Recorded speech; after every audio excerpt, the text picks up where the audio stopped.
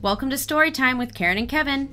Today, I'll be reading from the subreddit r slash entitled people, where, yet again, another Karen oversteps her boundaries. Our story today was posted by Vivid Efficiency 7347. Entitled Workaway thinks she runs the house. I am currently dealing with the most entitled person I've ever had the displeasure to meet. For some context, I'm a 19 year old female, a European, and the workaway is a 60s female from America. For those who don't know what a workaway is, the guest comes to your house and works a certain amount of hours in a day in return for free bed and food. I'll call the workaway Karen for ease. So, I only met Karen yesterday. She has been staying in my house for around a week, while I was abroad, to look after my pets.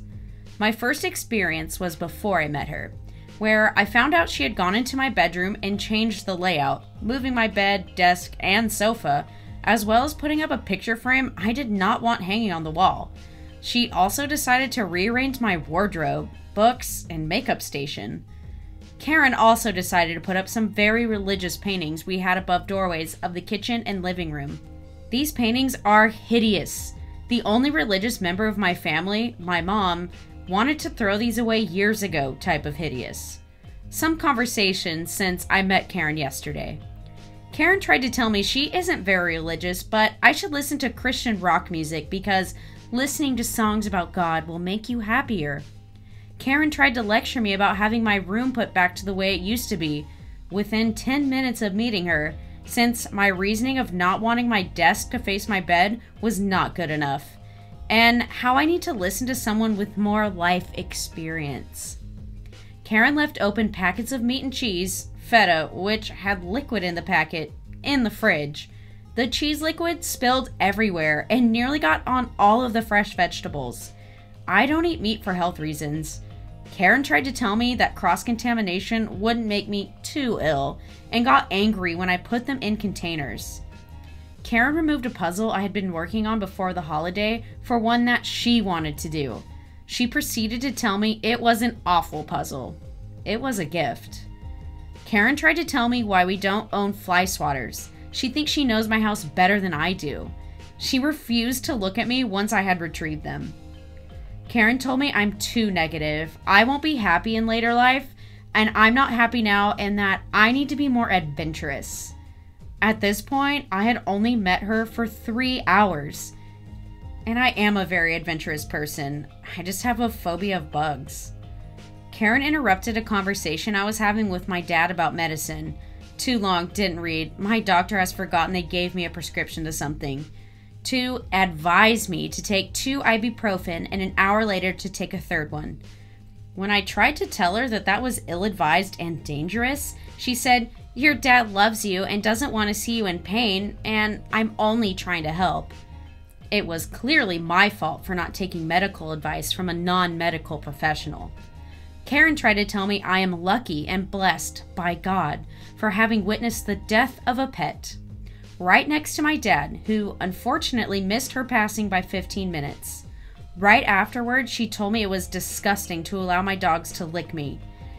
And then she told me off for being worried about said dog. She is okay, but was acting very old yesterday. Karen interrupted a separate conversation where I was stating to my dad that we need to put up some mosquito and fly nets. When I walked upstairs to see where she was sitting, she immediately said, say please multiple times. FYI, I was not rude in my conversation with my dad, and if this sentence had required a please, my dad would have let me know. I finally broke and told her off for insulting me in my own house. No apology from her, as expected. OP posted an update.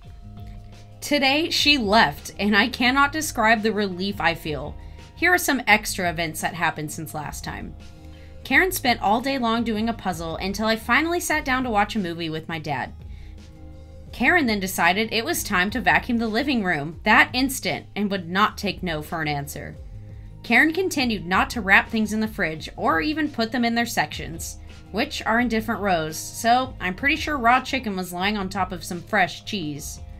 Karen did not clean up once when she was making food, and ignored requests to not put the wooden utensils in the dishwasher I kept finding spoons with pesto, jam, and garlic on the side. Karen did not know what headphones are. She would watch her TV without headphones in the hallway outside of my bedroom at the early hours of the morning, as well as in the kitchen. Karen got upset if I played anything without headphones since it disturbed the peace. At one point, I slipped down the stairs. Karen told me to get over it.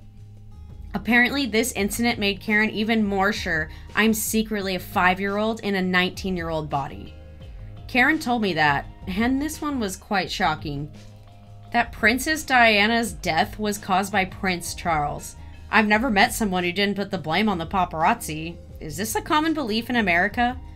I overheard Dad and Karen calling me lazy yesterday. The reason?